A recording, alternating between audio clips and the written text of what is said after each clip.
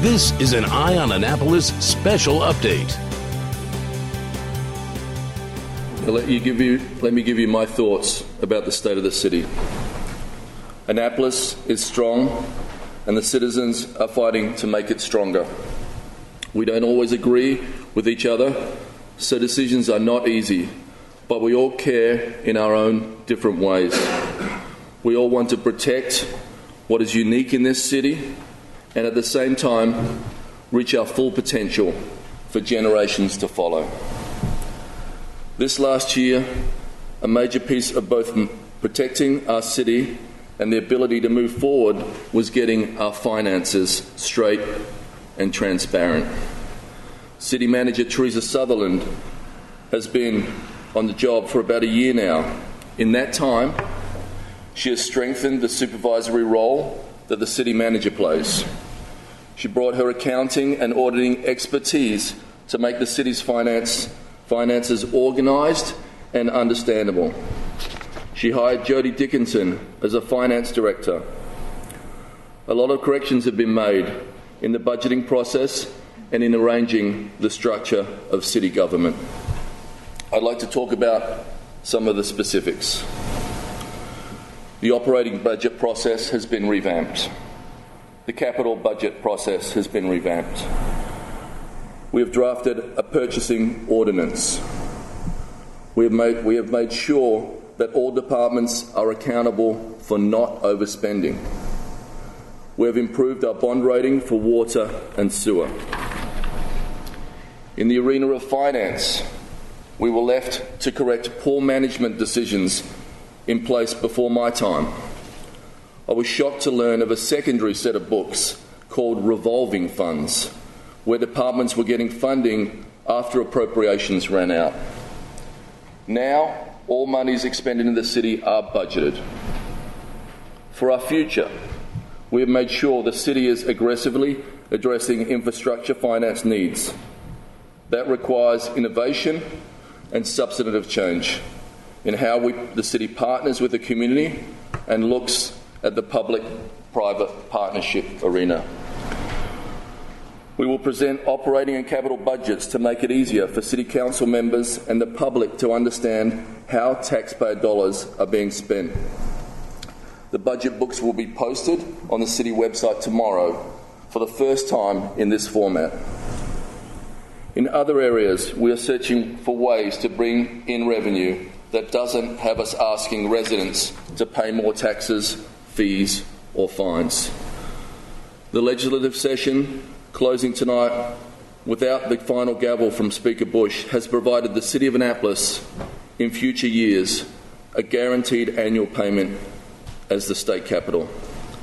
Speaker Busch, Senator Sarah Elfreth, and Delegate Alice Cain realised that since the city provides public safety services, including police, fire, and MS, EMS, for the legislature, the governor, and state agencies that operate in Annapolis, a payment was important as we're obliged to deliver the services. We don't collect taxes on any state property. The costs are roughly 750,000 per year, but we only received a little more than 360,000 a year. About half of what the city spends. And the allocation had not been increased since 1996. We were happy to see it pass unanimously in the Senate, and with a strong veto proof majority in the House, it was not vetoed by the Governor. In addition, the bill indexed the pilot funds to inflation. So even after we are long gone, the city won't have to keep begging the state to pay their fair share. We are grateful for the support of Speaker Busch, Senator Elfreth, and Delegate Alice Cain and those who worked on this legislation.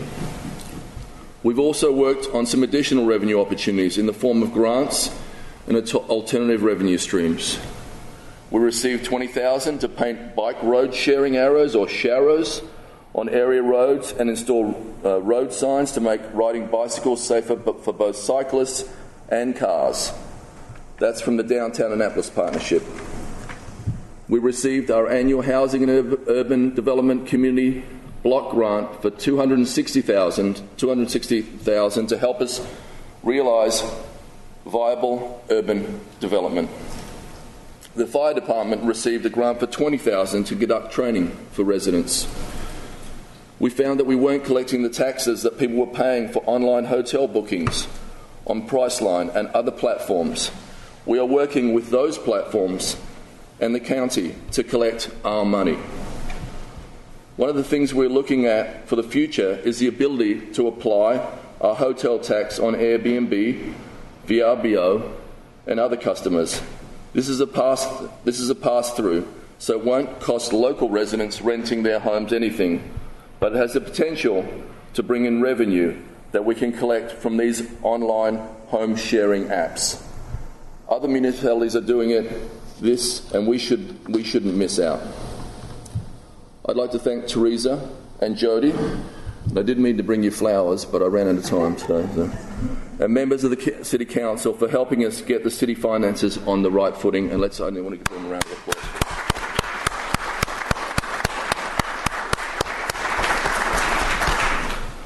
All of these financial directives not only give residents more confidence in city government, they help build confidence that Annapolis is open for business. I'd like to mention and recognise some local businesses. Mind you, these aren't the only success stories, but it puts a human face on the business side of our city. Orsted is one of America's leading offshore wind developers. They have chosen to put their headquarters in the city of Annapolis. Can we have a round of, of applause for Joy Weber? Would you please stand up, Joy? Thank you.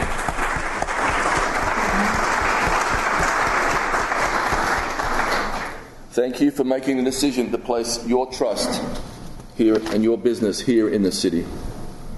Another success story goes back 50 years.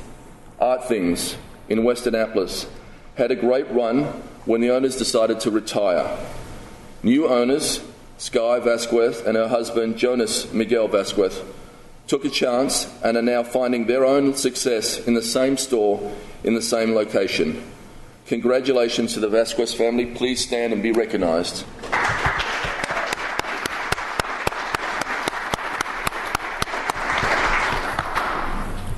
Another kind of business success is the Chesapeake Bay Trust. They brought an old marine building in Eastport, renovated it for offices, and continued marine use as they award grants for bay cleanup.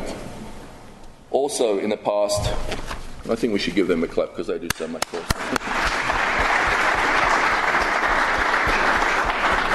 Also, in the past, we've had 61 existing businesses expand or relocate within the city. This equates to jobs for 407 people. 14 businesses have transferred to new ownership, preserving 154 jobs. 36 new businesses have opened in the city, creating 257 jobs.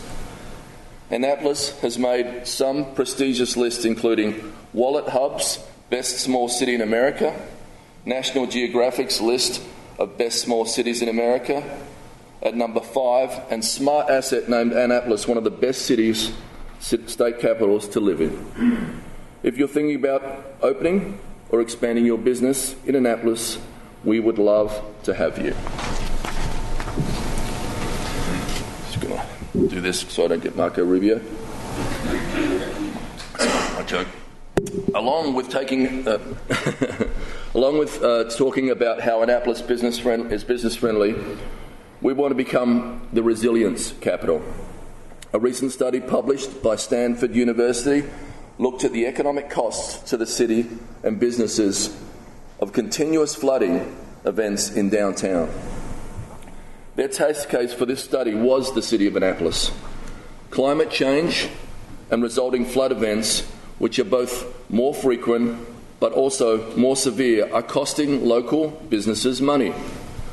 Businesses, especially in the historic district, lose revenue when the number of visitors dip during a flood event, either because people can, can't park and they leave the city to do their shopping and sightseeing somewhere else, but also because after the, a, a few false starts, visitors don't put Annapolis on their list of places to go in the first place. City coffers also suffer we don't get the revenue from parking fees. The Stanford study illustrated in real dollars that the city and businesses miss out on hundreds of thousands of dollars in revenue by not addressing infrastructure problems in downtown. That is why we are working with city planners, public works, the finance office, and federal agencies to secure funding for a short term and long term solution to the ongoing flooding issue around City Dock. We are experimenting with a short term solution on City Dock that could be ready by summer and will help businesses with the ongoing flooding issues. Ellie's very excited about that plan. We, we can't wait to make that announcement. We'll also be installing a pump system along both sides of Ego Alley. We'll be working alongside the US Naval Academy because they are working on solutions for their ongoing flooding issues. We are partners in resolving th- these issues for businesses, visitors, and of course, residents. During my campaign, one of the things I often mentioned was that when you first come to Annapolis and you look down Main Street, you can't help but fall in love with this city. That is why I decided to stay here. It's why I decided to start a business here. And it's why I'm raising my family here. Well, we aren't going to be able to love that view and love the historic district and love City Dock if we don't do something to support the infrastructure changes that are needed. In addition to the capital improvement to get the floodwaters out, a study from the Urban Land Institute looked at how to make the most of City Dock for the most people.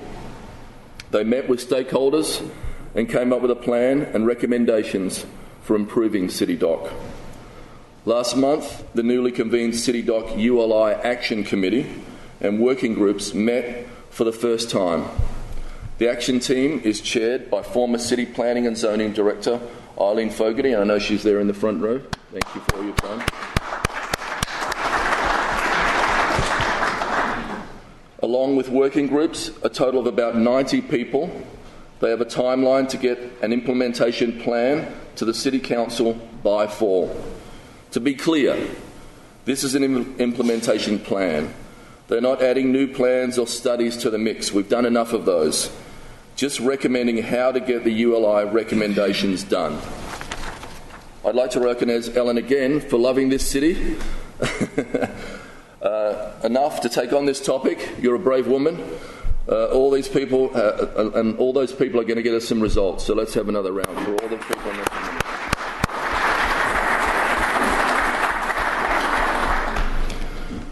This exercise is the kind of civic participation that enriches our community because there is a resident buy in.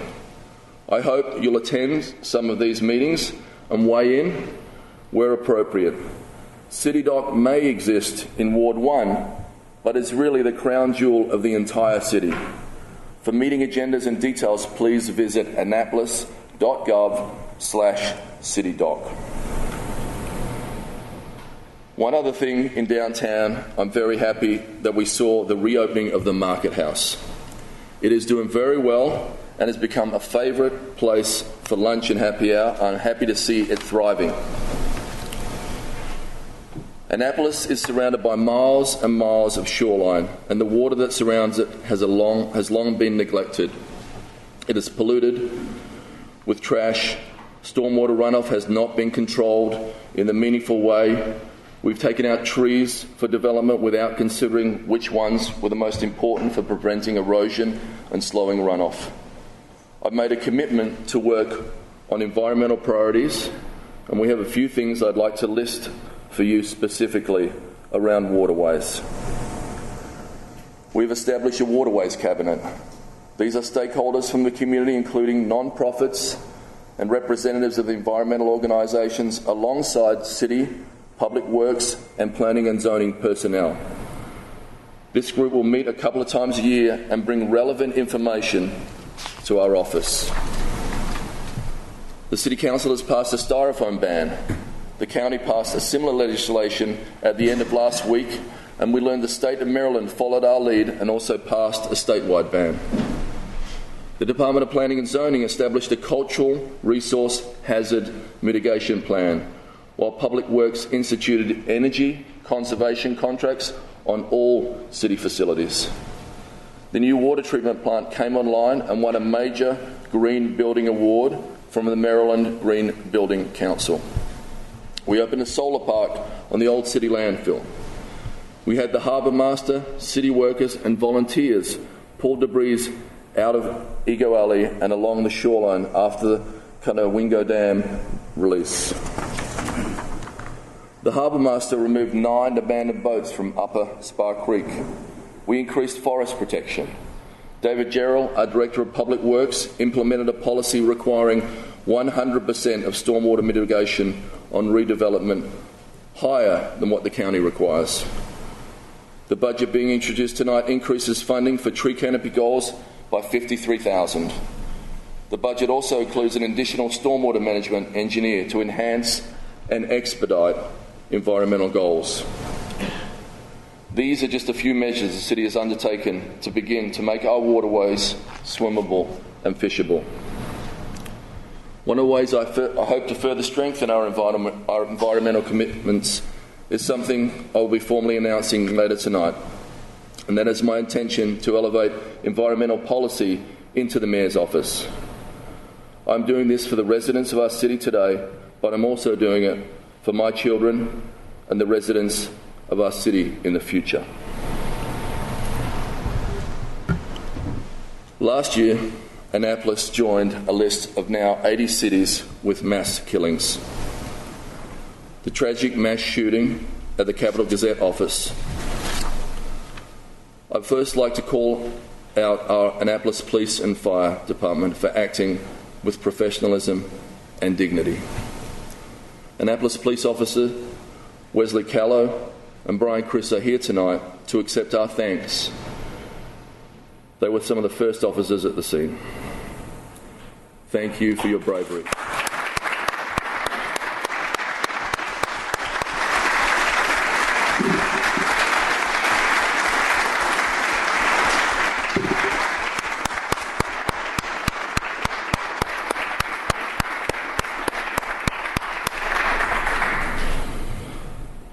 Not here tonight, I'd like to recognise the following police officers at the scene Gwen Table, John Murphy, Jim McGriff, Christopher Baum, Ed Cooper, Larry, Delanus, Tony Thomas, Ryan Holby, and Tim Lath. This was a horrible blow for our city. Just a week before this event, the Annapolis Fire and Office of Emergency Management had conducted, conducted active assailant preparedness drills. These practiced skills and training help save citizens' lives and secure evidence for the criminal case. Fire department personnel on the scene and entering the building include Battalion Chief Carol Spriggs, Captain Philip Morris, Lieutenant Stephen Truesdale, and firefighter Kenneth Bloodsworth, and firefighters Stephen Baird. Captain Morris, Lieutenant Truesdale, and firefighter Bloodworth are here tonight. Please stand. We'd like to give them a round of applause.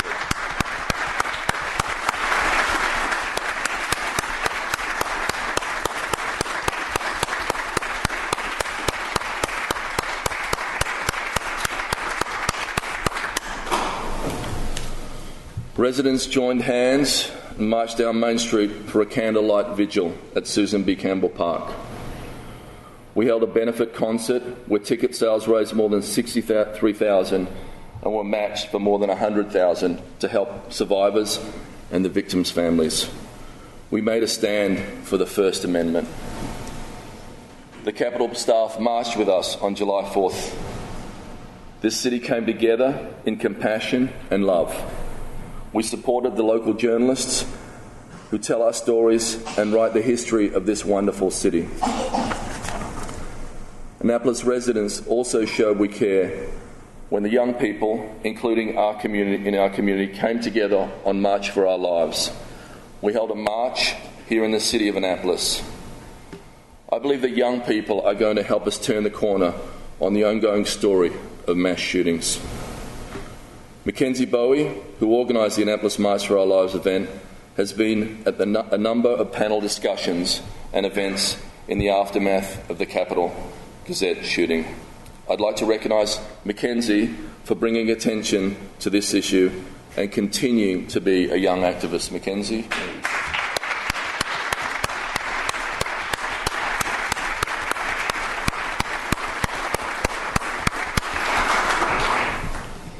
Doesn't end there. We need to end the scourge of mass shootings.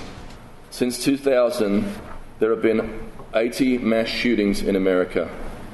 That number doesn't include Columbine or other shootings that happened in the prior century. Tomorrow and Wednesday, I will be in Toledo, Ohio at a national conference for mayors working with the leaders of other municipalities. I don't want another city or town to have to go through what we had experienced. I'm committed to working with people of all parties at all levels of government to find solutions. Earlier this month, the General Assembly passed a joint resolution declaring June 28th Freedom of the Press Day.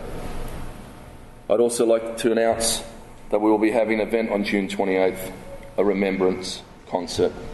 I invite everyone to attend and remember Rebecca Wendi, Rob, Gerald, and John. Another of the themes I ran on was to build a community and bridge divides across all wards. We call this One Annapolis. And we are happy to partner with every member on the City Council on ongoing events, including One Block at a Time, where we visit residents and businesses. It's a great way to check in with one another. I'd like to highlight some of the other outreach events we've hosted in the past year. We held community engagement and listening sessions on a variety of topics, the most recent of which is the one where we are asking residents to tell us the qualities and characters they want to see in a new city police chief. We've hosted business roundtables for African American business owners and Hispanic business owners. We've hosted a women's empowerment seminar at Pip Moyer we run English language programs for Hispanic adults and after school programs for youth. The Stanton Centre has hosted 335 meetings last year and served 550 people Thanksgiving dinner. I've hired a diverse and proactive staff in my office. But one of the issues that is serious and has caused me great concern for our city is the opioid epidemic we're tackling this issue head on. To provide some perspective, in 2016, we had 122 overdoses, 10 of which were fatal. Narcan, an opiate antagonist, was used 50 times.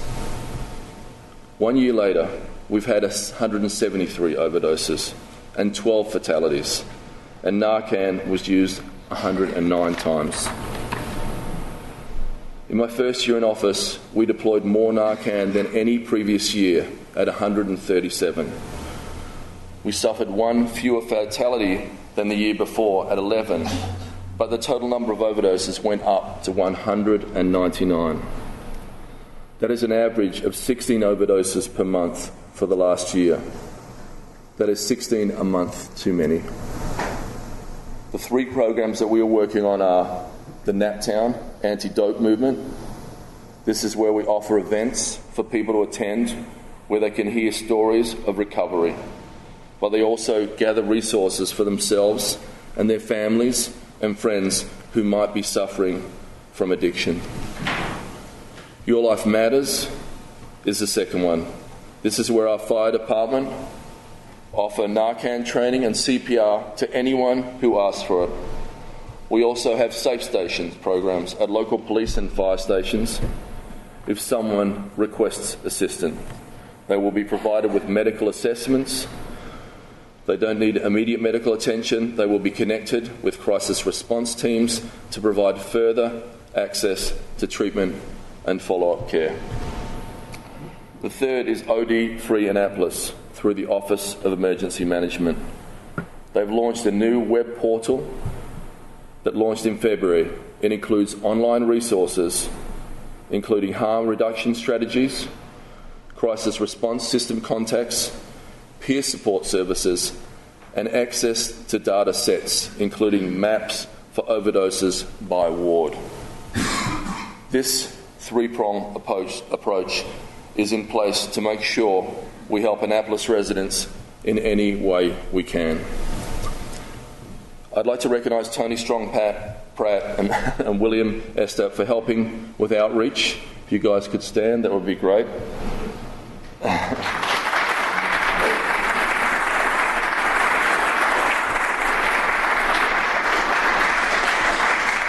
Thank you, Steph. Thank you, Tony. Thanks for telling your stories at the Naptown events and for making powerful videos with our TV station sharing recovery is important. Much of this discussion is about connecting communities. I'd like to announce tonight that we have a plan to build a pedestrian bicycle greenway that we'll be calling Busch Walk. Now, that might sound Australian, but we are naming it after Speaker Mike Busch. It will cross Spa Road and adjoin some of the places that people frequent, like Maryland Hall, the Senior Centre, the library, plus parks, fields, and schools. All places he fought for and he supported. Anne Arundel and Annapolis City has just earned the League of American Bicyclists Bronze Award for being a bike friendly community. I hope next year to report to you that we have connected all the paths and greenways in the master bike plan. As you know, we had great success in Ward 2 with the Poplar Trail that connected Wards 3 to Ward 1. It will be utilised by the very young and very old it is well maintained by the Germantown Homewood Community Association in partnership with the city and a way for people to get out of their cars. Again, for now, in the future, we want to meet people where their transportation needs are. People want more alternatives. We can deliver those without sacrificing anything for our automobile users. We can already see these transportation needs changing with people utilising bicycle shares downtown, and young people moving away from automobile ownership and using more rideshare apps and public transport, transit. If you truly care about the environment, you have to consider transit alternatives. Another way to enhance our city is through making sure that we are doing the most to hear from residents. Government doesn't need to be a one way street. Annapolis has 28 boards and commissions where residents have an opportunity to weigh in on all kinds of issues and report back to the Mayor and Council. There's been a backlog of unfilled seats and they have been underutilised. First, we are working to fill these seats. Second, we're interested in having individuals from all walks of life in these positions. Diversity is important to the city and is important to our administration. I'd like to recognise everyone who has joined the board or commission. Please stand. Thank you.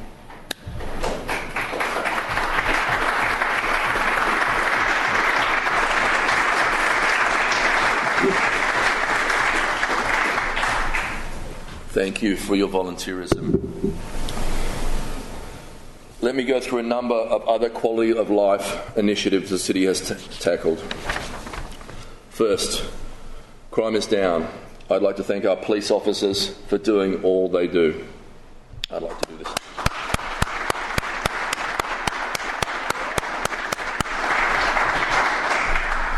We're in the process of finding a new police chief. As I mentioned, we recently held a series of town hall meetings where we heard from residents who are interested in new models of community policing that are more inclusive and focused on building trust in, diverse, in a diverse cross section of communities. Our planning department has been busy and in the past year unveiled the Bowman Project, where six housing units for veterans are placed. In addition, 42 affordable housing units came online with Town Court. Our Pip Moyer Recreation Centre awarded about 17,000 in monies for camps and programs and saw roughly 18,000 people taking fitness classes, including finish op- options for people with disabilities. About a thousand children attended summer camps right here in the city. We got bike shares in downtown that were well utilised with multiple places for pick up and drop off. In transit, we made a half a million passenger trips. Our fleet has been updated to reduce pollution, and tr- our transportation staff have complete, com- completed and delivered to my office a five year plan on transit. We have three new buses with updated fare management. We tripled financing for road paving in 2019, and we are continuing that level for 2020. Our Office of Emergency Management has helped to manage a number of events, from the inauguration of the Governor this past January to the hurricane and city preparedness for winter storms, including multiple openings of our warming and cooling centres. It's September of this year. We will close Truxtun Pool and in 2020 reopen with a beautiful new pool and water park that will be an incredible asset for young and old alike. I love Annapolis. I love being your mayor. I hope you will continue on this wonderful journey of public service together with me. Now we've got some slides from events and activities over the past year. Enjoy the show. Thank you. This has been an update from Eye on Annapolis. Please visit us at eyeonannapolis.net. Follow us on Twitter at Annapolis. And be sure to subscribe to our daily news brief podcast, which is delivered every Monday through Friday to your phone or device at 7 a.m.